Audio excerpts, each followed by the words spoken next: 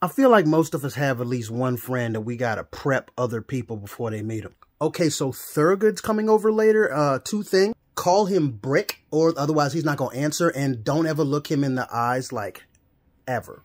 I wonder how many people I'm that friend to. Like, how many people before I show up are like, all right, so like the homie Nate gonna, gonna come over and like, he cool, but like there's some shit going on.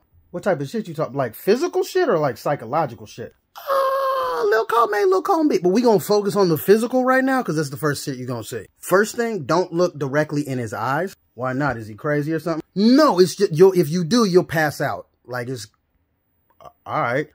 He is a black albino, but don't ask him why his eyes aren't red, or he's gonna he's gonna blame me for that. Why his eyes aren't red? Do people actually ask him that? Yeah, like enough people that it makes him judge educational systems. Damn, dude, Americans stupid. Oh, it's not just Americans. Anyway, uh, his parents are both black, so don't ask him for, like, proof. Dude, I wouldn't ask nobody for, like, proof about that. That's crazy. Do people actually ask him shit like that? Yeah, all the time. It just makes things more confusing. Why does it make it more confusing? Because his parents are white. But I thought you said... I know what I said, okay? Just let me finish. He was adopted by a white family at birth, all right? All right, all right. Okay, so now let's get to the psychological shit. Oh, th there's more. Oh, so much more. So much more. So first of all, if he's fidgeting, not making eye contact, turning around in circles, anything movement-wise, he's paying attention to what you're saying. Don't worry.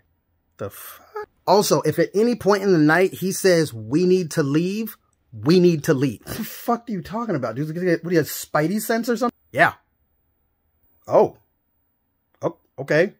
If it seems like he's having a really good time and then all of a sudden he just leaves, that's not you. Trust me topics to stay away from unless you want to have an eight hour conversation in which you're not going to be able to talk a lot. Movies of any type, specifically comedy or action, sitcoms, Disney, Harry Potter, just stay away. Here are a few topics that you can talk about that if you know anything about, you can talk for eight hours and he will sit there and listen. Space. Neuropsychology or biology. If you speak a foreign language, it's like catnip to him. Just talk in that language. Oh, does he like know a lot about neurobiology or, or does he speak like another language? No. Okay, so final thing. Do not ask him under any circumstances if he is allowed to say the N-word. He's black, right? Yeah, but it's insane how often he gets this question. What's he going to do? He's going to like, hit me or something? Very unlikely. In fact, he'll probably ignore the question and just keep on with the conversation.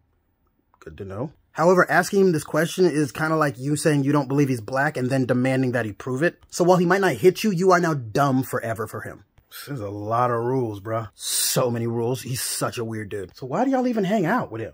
Because he was the first person to tell me if you take the bottom off a cupcake and put it on top, it's a cupcake sandwich. We've been friends for life. We're that's we're us now. Yeah, that tracks. Follow me on YouTube and come to my show April 7th in New Orleans. Ah!